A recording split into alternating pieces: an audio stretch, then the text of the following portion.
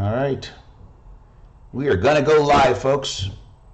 We'll give you a little time to gather your thoughts, get ready to go. Oh, and by the way, okay. By the way, we are here in beautiful downtown Orlando, as you can see behind me. Great view. I mean, what a picturesque. It's a Chamber of Commerce day here in Central Florida.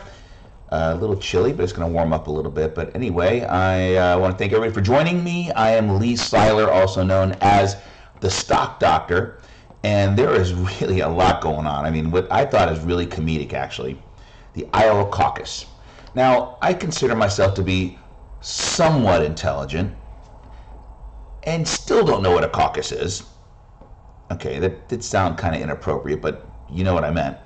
Uh, and, and, after learning about it and, and listening and watching, it's still very confusing. But anyway, uh, we'll see what happens. We still don't have a winner here in this Iowa caucus, which is supposedly, and I find it really amusing in, in politics how Iowa is so important, which is I mean, Iowa is a pimple on the face of the U.S. economy, but it's still, I'm not knocking the great state of Iowa, I guess, but uh, it can kind of direct the momentum of the candidates. We'll see. I don't know. I couldn't care less. That's right, folks. Couldn't care less, not could care less, please. Okay. I'm Lee Seiler. Thank you very much for joining. Uh, I know what everybody wants to talk about Tesla. All right. Tesla I have not in my career, and I, have seen some some moonshot stocks, but this is just unbelievable what I'm seeing with Tesla. And I'm going to go and uh, I'm going to pull a chart on the stock because it is just unbelievable. Haven't seen anything like it. And you know, here's the problem with Tesla. And if I could see my keyboard, that'd be great. Okay. The problem with Tesla is I'm not sure I can believe any of the data. All right, their numbers were good, everything looked fine, but the valuation on this stock, I mean, this is just a lunar shot. And I'm trying to look back here. At this point, the stock was wow. That was um, November was $300 a share. It's indicating up over 800 this morning. I mean, this is a parabolic move. And if you're in the stock, more power to you. But I have a really sneaky suspicion, and I'm sure I'm not alone with this that this could be one of the greatest short squeezes in the history of short squeezes. What that means is, folks, just like gambling in Vegas, there are different ways to play stocks. You can go long, which means you want to own them. You love the company, you want to be owner, have ownership in it, you want it to go up in value to make money, or you can be negative on a company and you want to short it, meaning you, you sell the stock without owning it in hopes to buy it back at a lower price. So, for example, you short a stock at $100, the stock goes down to 80, you buy it back, you capture that $20 in profit. A lot of things, there's some a lot of moving parts to that, but in essence, that's pretty much how it works. But what happens is when you short a stock, it guarantees that you a buy down the road because you have to buy it back at some point, whether you sell it 100 and buy it back at 50 cents, you have to buy it back at some point. So it ensures buying. And what happens is when you're short the stock and all of a sudden it's starting to rally and you go, oh, wow, I, I'm getting my tail kicked because I shorted it at 100 because here's the one thing. If you buy a stock at 100, your downside risk is 100%. 100 bucks, all right, go to zero. When you short a stock, your downside is infinity. So if you short a stock at 100, let's say you shorted Tesla at 100. Guess what? It's 800 bucks today. So you've lost your money and then some, which because you have to do this on margin. And that's what makes it more complicated. So you're borrowing money to do it as well. So it's a real high risk proposition.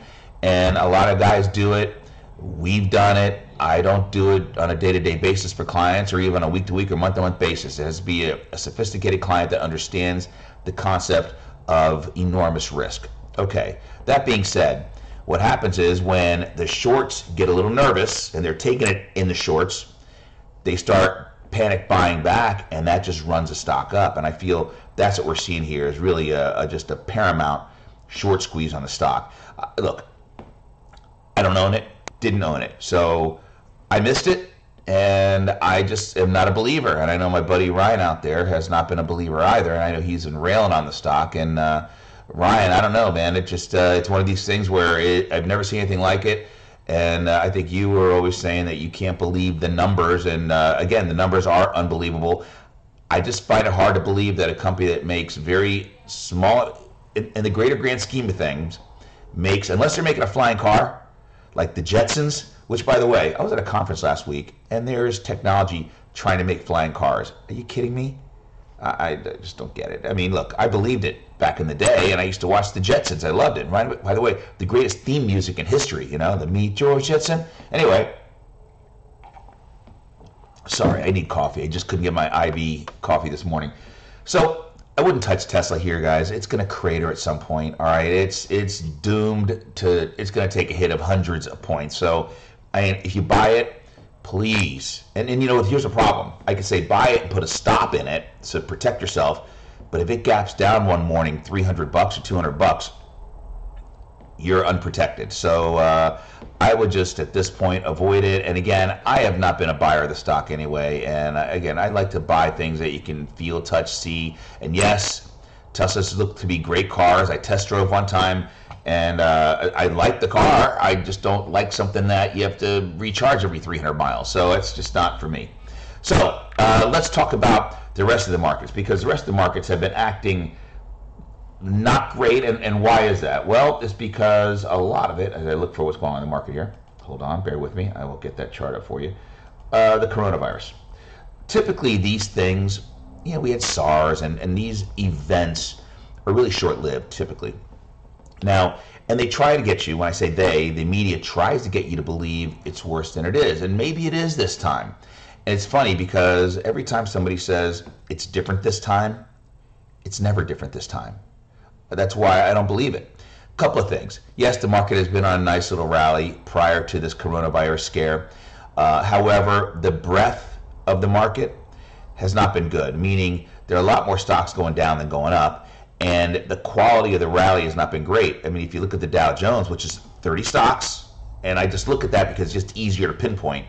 I mean, if it weren't for Microsoft and if it weren't for Apple, which are Dow components, the Dow would be a fraction of, of where it is right now. So, you know, there's been very limited stocks taking the markets higher. That's not broad based rally mode. That's not a, a great breadth as you want to see in the market. Now, the good news is the market did pull back right to where it's supposed to. This is the S&P 500.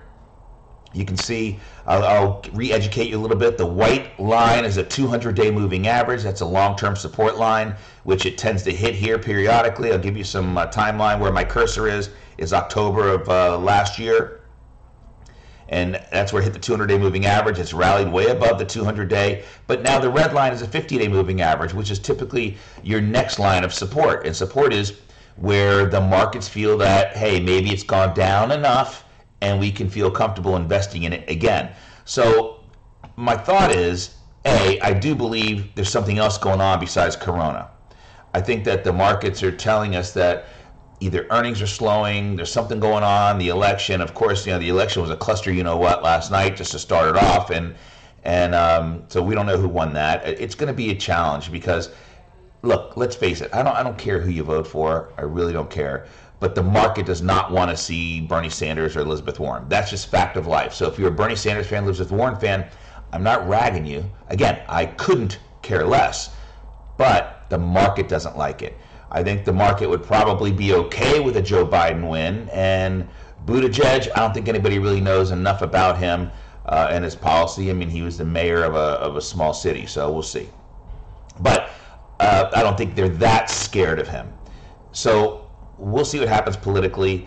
I am concerned going forward here. I think that the coronavirus thing, if it looks like it's contained, the market could continue its upward trend.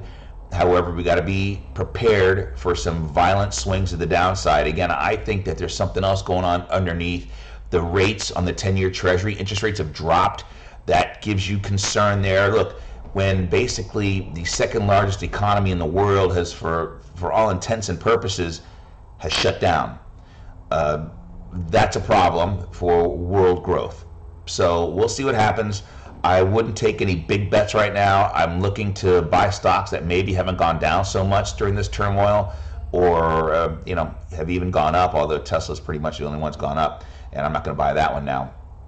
But other than that, I, I do think that the financials have pulled back with rates going down. That may be opportunity. You have some broken charts there. However, uh, let's take a look at a couple things now. One of the best ones. Well, this is Citigroup. Citigroup's made a pretty good rally. I'll show you right here. Citigroup rallied nicely towards the end of the year and then had pulled back a little bit, but that's not bad because what you see here in Citigroup, it was $60 a share, rallied to 82.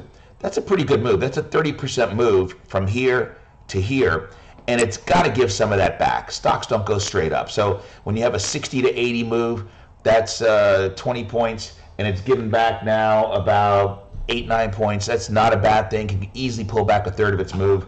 The, the really the best financial in the group is J.P. Morgan, and J.P. Morgan hasn't pulled back as badly. Okay, so you got to pick and choose your spots. Uh, I mean, when you look at some of the other ones, here's clearly the loser of the group, Wells Fargo.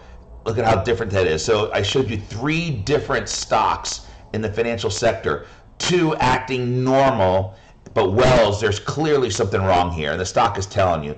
I know that you've been taught buy low, sell high, and and I I somewhat agree with that, but I like to say, you know, buy and sell higher because oftentimes when a stock is down here at this level, it's down here. I'm sorry, down here at this level, it's down here for a reason. There's a major gap down on earnings the stock is acting really, really, really, really poorly. So would not be a buyer of Wells, but I do like J.P. Morgan, even Citi. So um, anyway, there's some other sectors out there I do like. I like the disruptive type sectors. Uh, cloud-based. Google came out with numbers yesterday. Their earnings were, were great. Revenues were down a little bit. Their cloud business is good. Apple numbers were fantastic last week. The stock rallied on earnings, down a little bit. But Apple is going to gap up this morning. I'll show you a quick chart on Apple stock I want to disclose we do own. I've owned it for years and have significant profits in it. Here we go, the big rally, almost like a, not a quite Tesla type move, but a, a hell of a parabolic move. And we just had a little bit of congestion up here, so it's pulling back slightly. Hit uh, 326, I think, was that high point right there, 327.85, and pulled back a little bit. But what's interesting, let me show you how it's trading out. Closed yesterday at 308 and I'm going to show you where it's trading pre-market right now so you'll get an idea. Here's some trades going on. This is how the market's trading now. 315 pre-market so I can actually see the trading going on. So anyway, uh, all in all, again, I'm a little cautious, but I, have been cautious, but I, am letting my stocks ride. I've, I took some profits. I did sell my Bank of America position a few weeks ago. I sold a couple other things only because I thought it was time. But uh, anyway, other than that, keep in mind we have some seminars coming up. We have some great events. If you want to sit down with a consultation, give us a call at the office. Let's let's look at your 401k. Great time to reallocate. I think you maybe you want to take just a, a little bit less um, of an aggressive posture at times, and this may be one of the times. Call us 407 831 8002. 407 831 8002. You can email me, stockdr at stockdr.com. I appreciate you joining me share, share, share the video. This is good educational stuff. We got a lot of big things happening here at Seiler Wealth Management and at stockdr.com. So everybody have a fantastic day. Talk to you soon.